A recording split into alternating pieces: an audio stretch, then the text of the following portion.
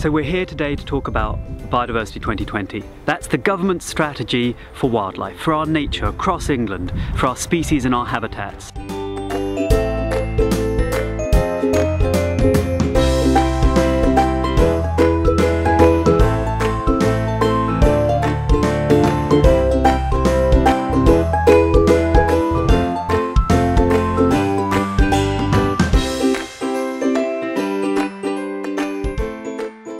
We're halfway through this strategy. It was set out in 2011. Now 2015, how are we getting on? Well, the truth is, we're doing okay, but we need to do a lot better if we're actually going to meet the ambitions of this strategy.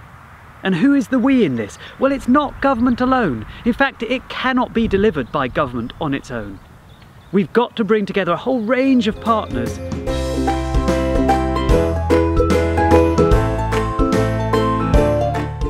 Some of our most important sites have been identified as our sites of special scientific interest. They cover about 8% of the country and you can see that they're dotted across the country. They're fantastically important sites for our wildlife. They hold some of our most important habitats and many of our important species. Some of those sites are national nature reserves, open to the public. So we're here today in this beautiful site down in Kent, the Wye Downs, a national nature reserve, fantastic chalk grassland, woodland, and we're here today to see how this site is supporting wildlife. But not just that, how it is part of a much bigger project across the landscape to restore our wildlife. So you can see here the chalk scarp of Wye Down coming down into the valley on both sides. This grassland is internationally important, not just important in the UK but across Europe and the reason it's so important the species it supports. It can support up to 40 species in one square metre of grassland. It supports fantastic reptiles, fantastic butterflies. In fact, some of the butterflies here are incredibly rare. Some of the moths are incredibly rare. We've got the uh, chalk hill blue that produces its larvae and leaves them on the ground to be looked after by the ants. But the Duke of Burgundy is another, and the Duke of Burgundy you can see right over there, that's a key patch for the Duke of Burgundy, and there are only about 10 or 11 colonies uh, in Kent that are supporting the Duke of Burgundy butterfly now. Now Dan Tewson's here with me today from Natural England who's been working on with this with butterfly conservation with this butterfly. So Dan, come and tell me tell me about the work you've been doing to support the Duke of Burgundy. So we're working with farmers and estates uh, within this area around the reserve. The, the site here is monitored along with the other 11 or 12 colonies that exist in the area. This site isn't enough on its own and you're starting to help that butterfly, the population that's here and on the other 10 sites or so, help it join up and, uh, and, and create more space for it, is that right? That's right, it's, it's got to be about reconnecting the landscape uh, and the, the stewardship schemes that we deliver uh, absolutely fundamental to that. Um, it takes a lot of work to get farms involved in the scheme and then working with them year by year to increase the habitat that they're managing and, and creating. Yeah. We need those sites to be better for wildlife, to be bigger, to be joined up and without doing that, we will continue to see our species decline.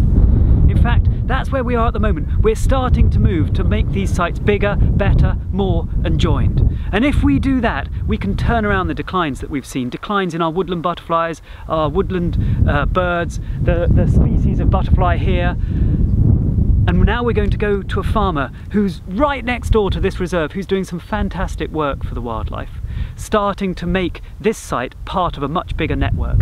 Absolutely essential work for the Duke of Burgundy over there.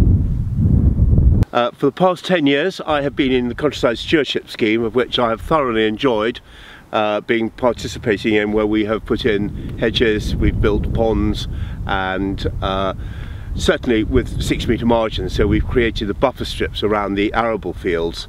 But I wanted to continue that good work that we had done for the last two uh, for the last 10 years and so with the help of Dan Tewson and, and Natural England uh, we've entered the higher level scheme and expanded on the countryside stewardship scheme that was already in place and although I am a commercial farmer and I agree with commercial farming uh, the environment and environmental habitats play a very important part.